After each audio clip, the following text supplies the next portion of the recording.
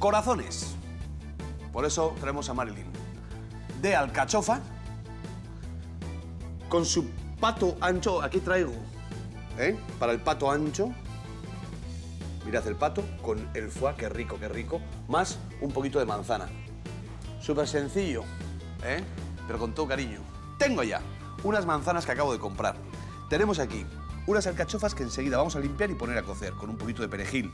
Tengo aquí un poquito de limón, un vino dulce de Sauternes, que es un vino de la zona de Burdeos espectacular, el hígado del pato, un poco de escalonia picada y un poquito de crema fresca. Vamos a poner el agua para las alcachofas, ¿qué os parece? ¡Hala! Ponemos esto aquí, cerramos... Ah, una cosa, ya sabéis que me gusta cuando ponemos el agua poner también la sal. Me gusta poner la sal porque si no a veces se nos olvida y es fundamental, sobre todo a la hora de cocer cualquier hortaliza, que tenga ese puntito de sal. Al agua, un poquito de perejil. Mirad cómo las vamos a limpiar. Quitamos las hojas forasteras ayudándonos de nuestra puntilla. Cuanto más cruje, quiere decir que la alcachofa está mejor. Bueno, fijaros, lo que hago es cortar así la alcachofa. Yo las voy a cocer así. Si luego la recorto una vez cocida un poquito más para dejar solo los fondos de alcachofa, pues perfecto. Y si luego le hago una base, pues también.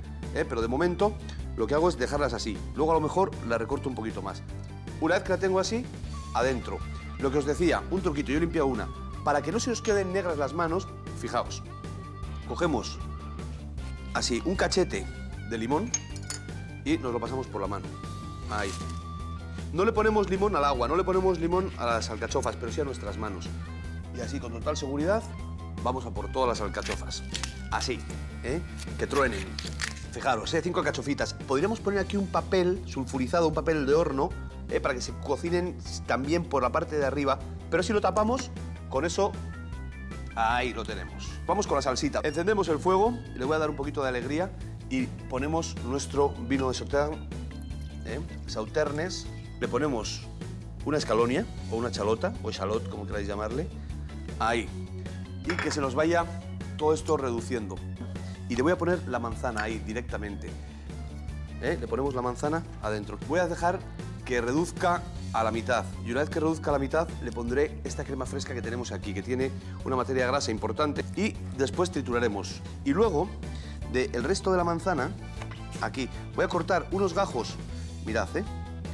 Voy a cortar unos gajos eh, así, de este pelo. ¿Ya veis? Que voy a saltear en una sartén y se lo pondremos luego en las alcachofas. La manzanita que ha ido muy, muy, muy lentamente. Le hemos bajado ahí un poquito de la salsa, una cucharadita de crema, otra, está, me encanta. Le damos un pequeño voltio. Fijaos, ¿eh?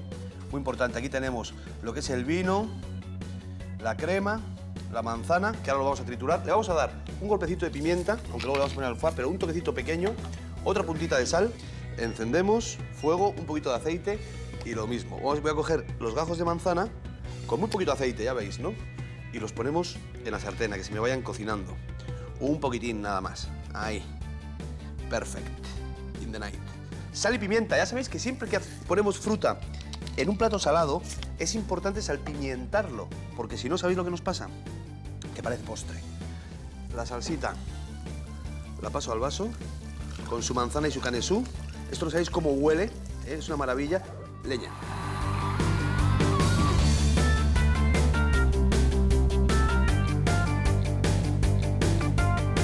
Y con el tenedor con cuidado, ¿eh? no llevamos sino un poquito con la mano, vamos metiendo bien ¿eh? la manzana. El tema es que quede al ras para ponerle el foie. Entonces ahí tenemos nuestras alcachofas, que justo las vamos a meter un pelín al horno, pero un pelín nada más a que se mantengan calientes. ¿eh? Sal y pimienta al foie. Luego lo partiré por la mitad y le pondremos un poquito de foie a cada uno. Vuelta a poner sal y pimienta y en un minutito tenemos la salsa reducida y el foie cocinado.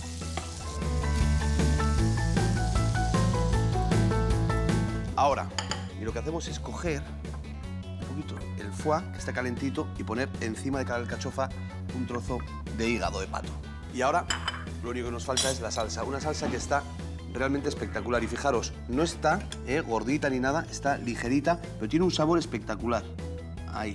Le vamos a poner un poquito de cebollín también.